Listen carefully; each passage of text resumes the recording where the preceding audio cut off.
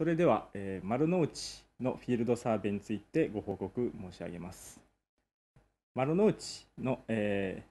まあ、フィールドサーベイをした、まあ、まとあの言葉としましてはですね、町のブランド価値ということが言えるかと思います。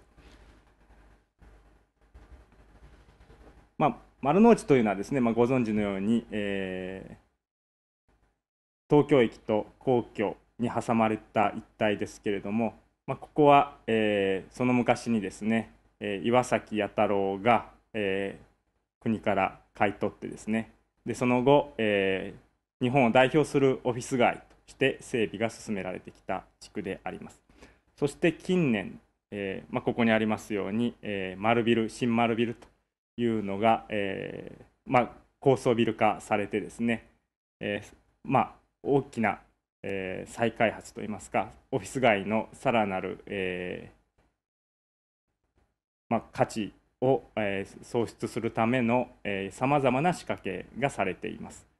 まあ、フィールドサーベイではその、えー、取られているさまざまな手法について、まあ、中心に見ていくということになったと思います。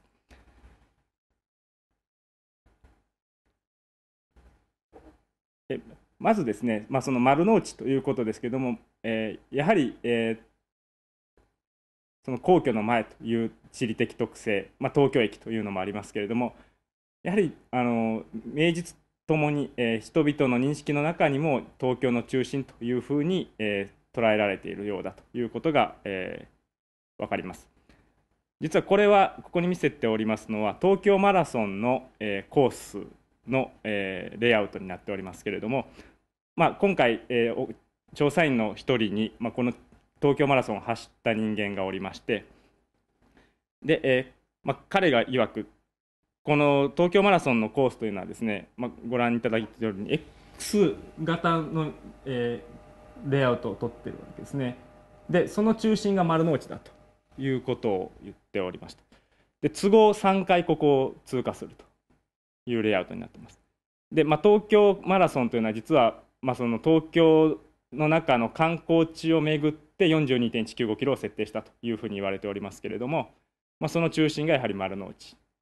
でやはり走ってくるうちにですねここを通るとあやっぱりここが中心だなということがこう非常にこうじわじわと感じてくるというようなことを、えー、言っておりました。なるほどなという指摘だったと思いますけれども、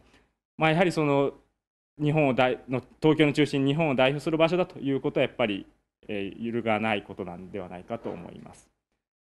まあ、そこでじゃあどのようなですね、えー、価値の創造ということが行われているかというふうに見ていきますと、まあ、一つ大きな特徴として挙げられるのはやはり建物保存ということだと思われます。まあ、先ほど申し上げましたようにここは、えー、明治以降ですね、えー、オフィス街日本の第一のオフィス街として整備が進められておりました。まあ、1兆ロンドン1兆ニューヨークというような、えー、ことが言われましたけれども、まあ、その当時からの、えー、建築物を残していこうということが、えーまあ、見て取れます。まあ、ここに、えー、事例をあげいくつか挙げておりますけれども、まあ、上は高層ビル化しますけれどもその足元にですね、えー、こういう昔の、まあ、ファサードであるとか、まあ、一つは建物そのものを残している事例もありますけれども、まあ、こういうまあ、この場所独自の歴史性をですね継承していこうという、えー、態度が非常に、よく感じ取れます。まあ、あの近あの今工事が進められてますけれどもやはり一番大きなプロジェクトとしては、まあ、この東京駅の復元というのがありますけれども、まあ、これを再建当時の形に戻すということが言われておりますが、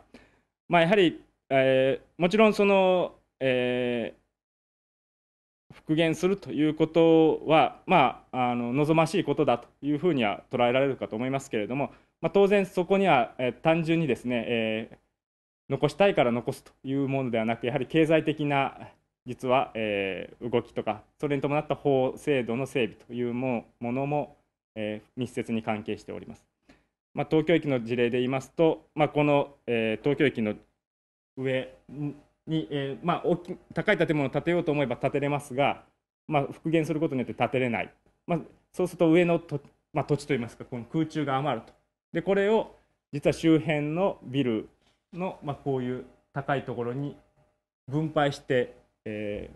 ー、売り分けているわけですね。まあ、それをすることによってその復元する費用を生み出していると。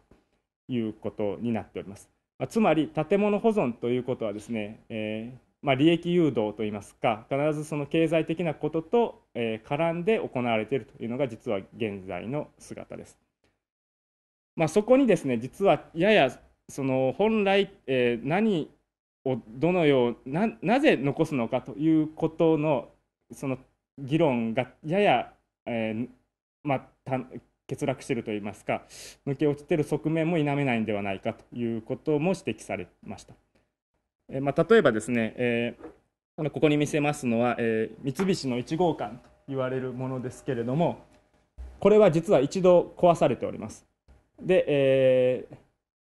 あたらあの昭和の初期に新しいビルオフィスビルに建て替えられましたが今度それを壊してですね、えー、この1号館を復元するという話になっております。でその復元することによって、まあ、容積率の緩和ですとか、まあ、そういう特例を受けている。ただその昭和のモダニズムの建築を壊してしまうとしてなぜその昔の形にさらに戻さねばならないのか、まあ、戻すといっても再び作り直すわけですからそこには非常に賛否が分かれるところがありました。また、えー、これも、えー、東京駅の隣にあります、えー、東京中央郵便局ですけれどもこれも再開発によって壊されようとしておりますこれも建築的にはですねモダニズム建築の傑作というふうに言われておりまして、まあ、保存の要望も出されておりますけれどもまあ残るかどうかはかなり難しいところだというのが実際のところです。まあ、このように何を残すのか何のために残すのかということを、まあ、実はきちんと議論する必要があると思うのですが、まあ、ややその辺が見えてこなかったというのが今回のフィールドサーベイの、えー、状況でした。まあ、もう一つ丸の内の、えー、空間整備ということの代表事例は、えー、中通りというところだと思いますけれども、まあこれはもともとそのオフィス街の間の、まあ、通用路というような位置づけだったと思いますが、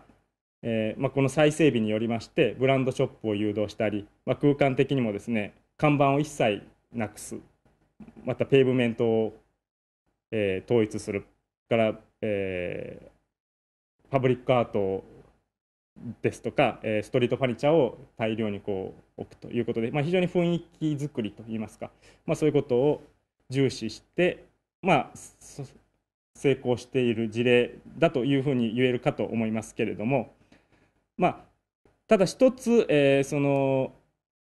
町のユーザーにとってじゃあどうなのかということを、まあ、インタビュー等で、え、聞いてみますとやや疑問が残るところもあったということです。で、え、丸の内にはですね、え、大きく分けて、え、3つのユーザーがいるだろうというふうに捉えられました。まあ、一つは、ま、ご存知のようにオフィスビルということですから、まあ、こういうサラリーマンの層ですね、まあ、それともう一つはそのブランドショップ街に買い物に来る人たち。でさらに最後は、まあ、観光客ということで、えーまあ、その場所を、まあえーまあ、物見に訪れるといいますか、まあ、そういう人たち、まあ、その大きく3つがあるだろう。で、えー、一つのまあこの町のその使われ方といいますか捉え方としてはこの3つのユーザーがですね交わることなくお互いに違う場所違う時間をそれぞれ行き来していると。いうところが何かもう一つこうしっくりこないという感じがいたしました、まあ、つまりサラリーマンはですね実はあの中通りなどではほとんどショッピングしないということが、まあ、インタビューでは、え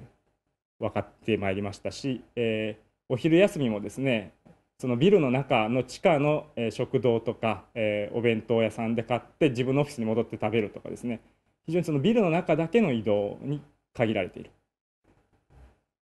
ですからこのサラリーマンがこういう買い物客になるというようなことがあまりない。でまたかたやこの観光客はじゃあどうかと言いますと、まあ、そういう先ほど見せましたような建物保存された建物やきれいな街並みを見にやってきますがじゃあ彼らがそこで買い物をするかと言いますとやはり入ってる店は高級ブランド街ですので、まあ、必ずしもそこで買い物客と一致するわけではないですからこのユーザーの交わらなさというのがなんとなくこう特徴として見えてきたということが言えるかと思います。以上で、えー、丸の内のフィールドサーベイの報告を終わります。え今の、え報告にありましたようにこの丸の内の、え再開発は単なるオフィス街からさまざまな人々を引きつけるということをいろんな仕掛けイベントを通したり建物、ショップの新しいショップを招いたりそれから通りをですね整備したりそういったいろんな努力が行われています。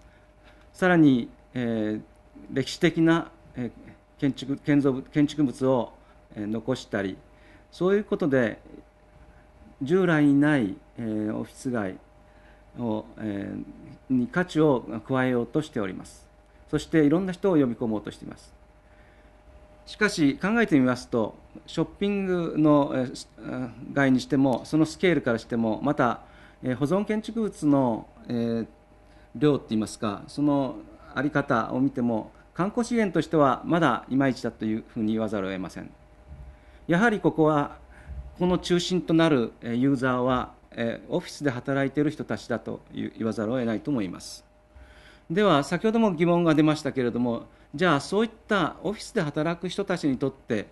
そういった建築物古い建築物ですね明治からの建築物を残すということは一体どんな意味があるのか。それをちょっと考えてみたいと思います。その考えるヒントになるのは実はアメリカのニューヨークにあります